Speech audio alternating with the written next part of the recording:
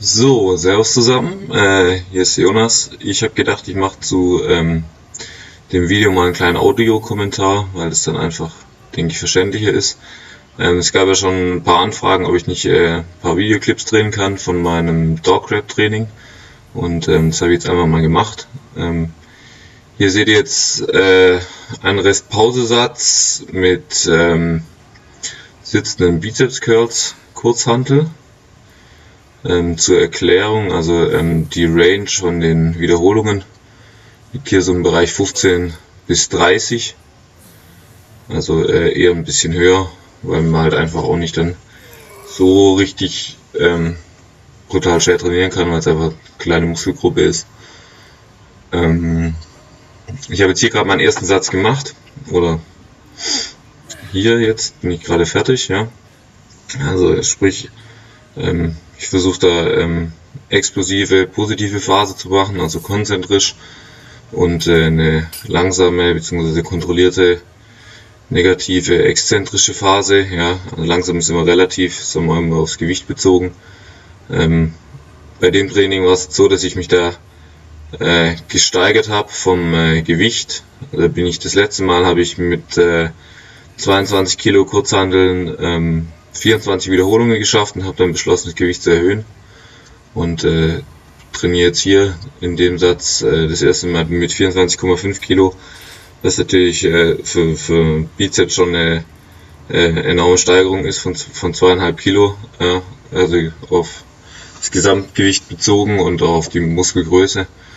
Und äh, deswegen ist hier natürlich auch der, der erste Satz dementsprechend schwer.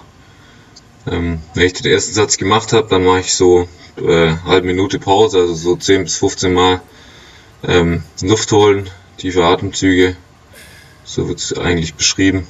Und dann äh, kommt der zweite Satz, der dann auch wieder bis zum Muskelversagen stattfindet. Und äh, da wird dann halt auch wieder versucht, nicht so sauber wie möglich dann halt wieder bis ans Muskelversagen zu gehen.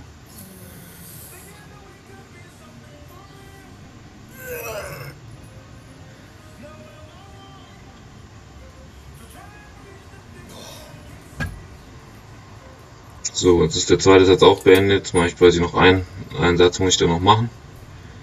Dann ähm, ist der Bizeps-Satz oder das Bizeps-Training für den Tag eigentlich schon gelaufen. Also ist schon ziemlich kurz und dafür halt eben schwer.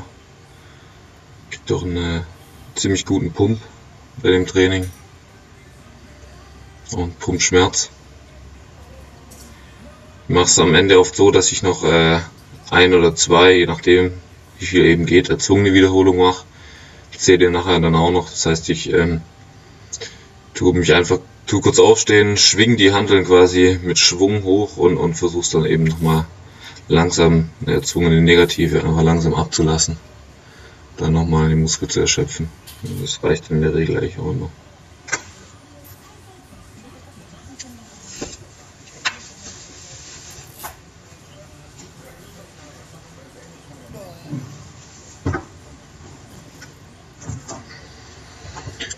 So, jetzt kommt äh, der letzte Satz. Ich glaube, in dem äh, Training oder dem Restbausatz bin ich insgesamt auf 15 gekommen, also habe diese Range gerade so geschafft. Das heißt, ich werde jetzt wieder mit diesem Gewicht arbeiten, bis ich irgendwo in Richtung 25 Wiederholungen komme und dann werde ich wahrscheinlich das Gewicht erhöhen.